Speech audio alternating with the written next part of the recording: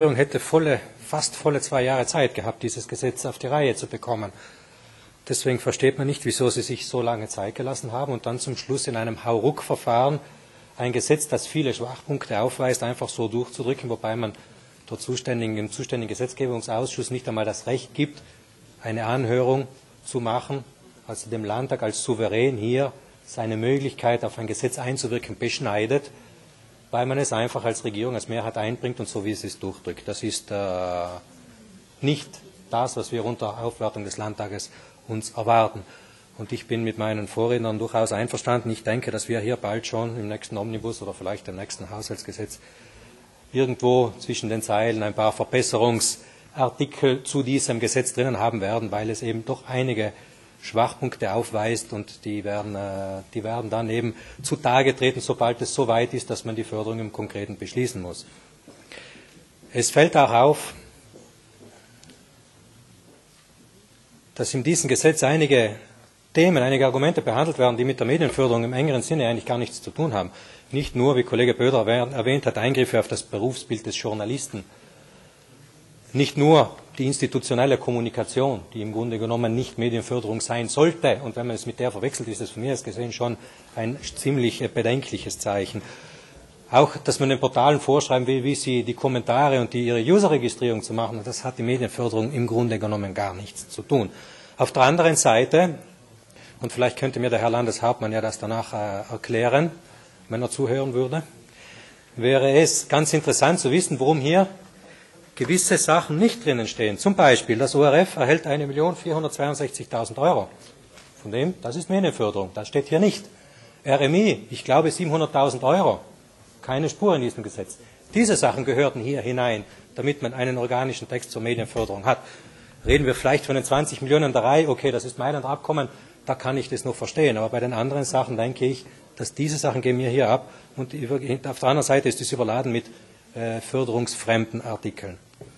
Der größte Kritikpunkt meinerseits ist äh, folgender. Äh, Uli Meier hat es äh, angedeutet, dass hier die Regierung, die Regierung Ausdruck einer politischen Mehrheit, die Pistole in der Hand hält. Es kann nicht sein, dass man ihr hier zu viele Kompetenzen überlässt, weil es steht ganz klar drinnen, die Modalitäten und die Kriterien der Medienförderung werden von der Regierung per Durchführungsbestimmung beschlossen. Es wird sein, dass Sie davor den Kommunikationsbeirat noch anhören, aber mit einem Anhören, das wissen wir hier im Landtag, ist hier nichts getan.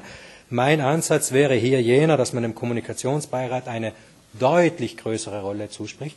Ein Kommunikationsbeirat, der aber nach ausgewogenen Kriterien besetzt werden muss. Mein Vorschlag wäre es, dass man zwei Vertreter der Journalisten oder der Medienhäuser hier äh, einen Platz zugesteht und die anderen vier zur Hälfte vom Landtag ernannt werden, zur Hälfte von Opposition und zur Hälfte von der politischen Mehrheit. So hätten wir einen Kommunikationsbeirat, der sich des Vorwurfs der politischen äh, Beeinflussung äh, erwehren könnte und der hier die Kriterien festlegen könnte, die natürlich letztendlich die Regierung mit Beschluss annehmen muss. Aber wenn sie eine Vorlage bekommt, die für sie bindend ist, dann hätten wir hier eine Kritik, die sicher kommen wird, ist nämlich, dass man die Medienförderung politisch ausnutzen kann, auch nur theoretisch. Dieser Kritikpunkt hätten wir hier so entschärft. Also ich glaube, dass hier äh, es noch einigen, einigen Bedarf gibt, äh, hier da, da der Regierung ganz einfach nicht zu viel Spielraum in den Durchführungsbestimmungen zu lassen. Äh, andere Sachen hingegen, die besprechen wir dann noch bei der, bei der Artikeldebatte zu den einzelnen Artikeln. Äh, ein Thema ist sicher die, die Diskussionskultur insgesamt. Hier reden wir natürlich vor allem von den neuen Medien, von den Online-Portalen. Ich glaube, dass das, was hier die Regierung vorhat, erstens nicht nur nicht in ein Medienförderungsgesetz gehört und zweitens auch zur Folge haben wird, dass nicht die Diskussionskultur besser ist, sondern dass erfahrungsgemäß 90 Prozent der User einen komplizierten Registrierungsprozess sich nicht auf sich nehmen. Es bleiben also nur mehr jene User übrig, die wir äh, bereits kennen. Das sind die üblichen vier, fünf, die auf den Portalen sich gegenseitig bekriegen. Und das wird dann der Diskussionskultur keinen guten, positiven Beitrag leisten. Ich glaube, dass hier die Portale haben ja schon wie alle Medien eine Sorgfaltspflicht bei der Veröffentlichung der Inhalte. Es gibt einschlägige Gesetze, Strafgesetze, es gibt Urteile des Europäischen Gerichtshofs, der sagt nebenbei sogar, dass wenn ich die Kommentare sofort lösche, bin ich trotzdem noch haftbar und kann bestraft werden. Schon nur durch die Tatsache, dass sie auch nur eine Sekunde online waren. Ich glaube, dass jene Portale, die es auf sich nehmen, eine Diskussion zuzulassen, das ist ein positiver Beitrag, auf jeden Fall vom Prinzip her. Dass danach die Qualität dieser Beiträge nicht immer so wie gewünscht ist, das können wir mit einem Medienförderungsgesetz schwerlich beeinflussen. Und ganz sicher nicht können wir es ihnen vorschreiben, wie sie es zu machen haben. Alle Portale heute haben bereits eine gewisse Sorgfalt äh, bei, der, bei der Verwaltung. Die Kommentare werden ja immer erst offline gespeichert, werden dann freigeschalten. Äh, gewisse Suchbegriffe werden von vornherein schon herausgefiltert. Das machen alle. Das machen sie hier viele so auch bei der Spiegel. Niemand, auch dem Spiegel wird nicht vorgeschrieben, wie er seine User zu registrieren hat in Deutschland. Er hat sich entschlossen hier für eine normale Registrierung mit E-Mail ohne SMS-Codes und große, große Sachen, weil natürlich so, dass äh, das Risiko, dass anonyme Kommentare mit, ein, mit äh, nicht, nicht veröffentlichbaren Inhalten durch die, einem durchgehen und, und veröffentlicht werden, wird natürlich verringert. Aber ich glaube, dass die Portale das hier selbst zu entscheiden haben, ob sie das Risiko und die Mehrarbeit auf sich nehmen Kommentare zuzulassen, auch anonym oder nicht. Das muss man Ihnen überlassen. Ich denke, dass jene Portale, die solche Kommentare stehen lassen, erstens natürlich schon strafbar sind und ein großes Risiko eingehen und dann auch, auch zur Rechenschaft gezogen werden können.